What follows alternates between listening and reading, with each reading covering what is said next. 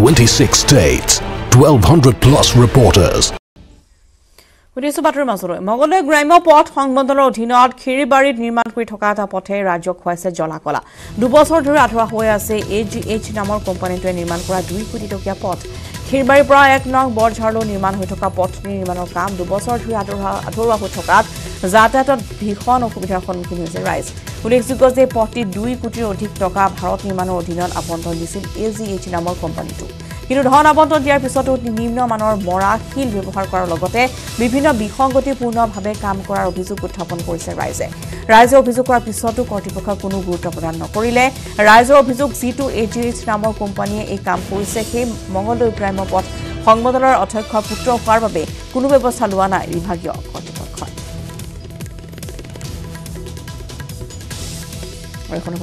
ৰিপুঞ্জয় নাথৰ ৰিপৰ্ট মই এটি পথৰ ওপৰত উপস্থিত আছোঁ। এই পথটোৰ বাবে চৰকাৰে প্ৰধানমন্ত্ৰী গ্ৰাম্য চড়ক যোজনাৰ অধীনত দুই কোটি ষাঠি লাখ টকা আবণ্টন দিছিল এ জি এছ বুলি যি এটা কনষ্ট্ৰাকশ্যন কোম্পেনী আছে।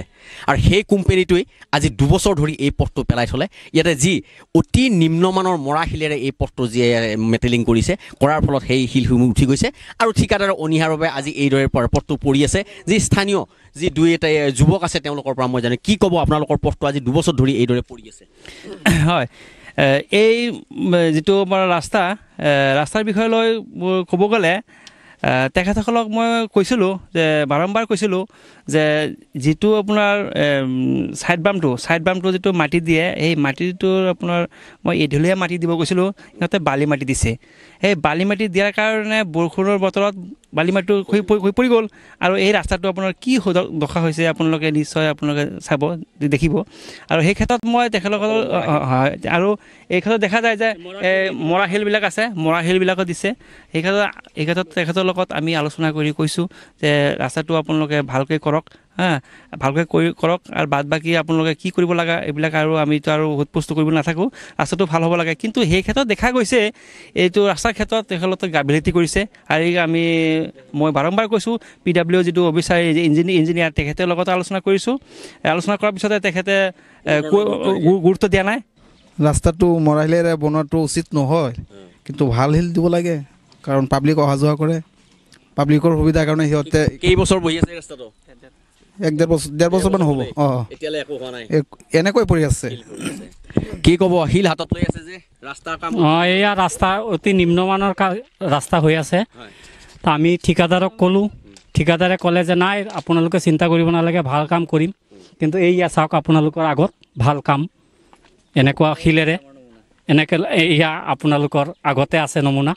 মঙলদৈ গ্ৰাম্য পথ সংমণ্ডলে এই পথটো যি কামৰ দায়িত্ব লৈছিলে আৰু যিটো কোম্পেনীয়ে কামটো কৰিছিলে তেওঁলোকক বহু আবেদন নিবেদন কৰিছিলে ইয়াৰ স্থানীয় যুৱকসকলে। কিন্তু তাৰপিছতো কিন্তু তেওঁলোকে যি অতি নিম্নমানৰ মৰা শিলেৰে এই ৰাস্তাটো কৰিছে আৰু মৰা শিলেৰে ক'লেও তেওঁ কৰিলেও তেওঁলোকৰ যেন অসুবিধা নাছিলে কিন্তু তেওঁ যদি কামটো সম্পূৰ্ণ কৰিলেহেঁতেন। কিন্তু দুবছৰ ধৰি কামটো দুই কোটি ষাঠি লাখ টকাৰ এই কামটো পৰি আছে। গতিকে এই স্থানীয় ৰাইজৰ এটাই দাবী যে আচলতে এই পথটো অতি সোনকালে মেৰামতি কৰি যাতে অতি সোনকালে সম্পূৰ্ণ কৰি তোলে তাকে তেওঁলোকে কামনা কৰিছে। আৰু সোমবাৰৰ পৰা অসমত বলবৎ হ'ল নতুন যান বাহন আইন। নতুন আইন বলবৎ হোৱাৰ পিছত তৎপৰ হৈছে আৰক্ষী আৰু পৰিবহণ বিভাগ। ৰাজ্যৰ বিভিন্ন প্ৰান্তৰ লগতে গুৱাহাটী মহানগৰীত প্ৰথম দিনাই অভিযান চলাই সংগ্ৰহ কৰে বৃহৎ পৰিমাণৰ জৰিমনা। আইন উলংঘাকাৰী চালকক জৰিমনা বিহে আৰক্ষী তথা পৰিবহণ বিভাগে। নতুন যান বাহন আইন অনুসৰি ড্ৰাইভিং লাইচেন্স নাথাকিলে ভৰিব লাগিব পাঁচ হাজাৰ টকা। প্ৰদূষণমুক্ত প্ৰমাণ পত্ৰ নাথাকিলে দহ হাজাৰ টকা। ছিট বেল্ট ব্যৱহাৰ নকৰিলে এহেজাৰ টকা। চালক আৰু আৰক্ষীয়ে ব্যৱহাৰ কৰিব লাগিব ছিট বেল্ট শিশুৱেও বাহনত বহাৰ সময়ত বেল্ট ব্যৱহাৰ নকৰিলে এহেজাৰ টকা জৰিমনা ভুগিব ভৰিব লাগিব তেওঁৰ অভিভাৱকে। দুচকীয়া বাহনতো দুজনৰ অধিক উঠিলে এহেজাৰ টকা জৰিমনা বাইকৰ দুয়োজন আৰক্ষীয়ে পিন্ধিব লাগিব হেলমেট। হেলমেট নিপিন্ধিলে ভৰিব লাগিব এহেজাৰ টকা। বাহন চলাওঁতে মোবাইল ফোন ব্যৱহাৰকাৰীলৈ দহ হাজাৰ টকা। প্ৰথমবাৰ মোবাইল ফোন ব্যৱহাৰৰ বাবে পাঁচ হাজাৰ টকা জৰিমনা বিহা হ'ব। বাহনৰ পঞ্জীয়ন নাথাকিলে দহ হাজাৰ টকা। বাহনৰ অভাৰলোডিঙত বিছ হাজাৰ টকা। অতিৰিক্ত প্ৰতি টনৰ বাবদ দুহেজাৰ টকা অতিৰিক্ত যাত্ৰী পৰিবহণৰ ক্ষেত্ৰতো জৰিমনা বিহা হ'ব। প্ৰতিজনৰ বিপৰীতে ভৰিব লাগিব দুশ টকাকৈ। এম্বুলেন্স বাহনক বাট এৰি নিদিলে দহ হাজাৰ টকা অগ্নিবাপকৰ বাহনক বাট এৰি নিদিলেও দহ হাজাৰ টকা জৰিমনা। নিষিদ্ধ অঞ্চলত হৰ্ণ বজালে ভৰিব লাগিব এক হাজাৰ টকা। বীমাবিহীন গাড়ী চালকে ভৰিব লাগিব দুই হেজাৰ টকা। অত্যাধিক বেগত গাড়ী চলালেও জৰিমনা ভৰিব লাগিব। বাহনৰ চাইলেঞ্চাৰৰ পৰা অতিৰিক্ত ধোঁৱা ওলালেও জৰিমনা। বাহনৰ চালকজনে ভৰিব লাগিব এহেজাৰ টকা।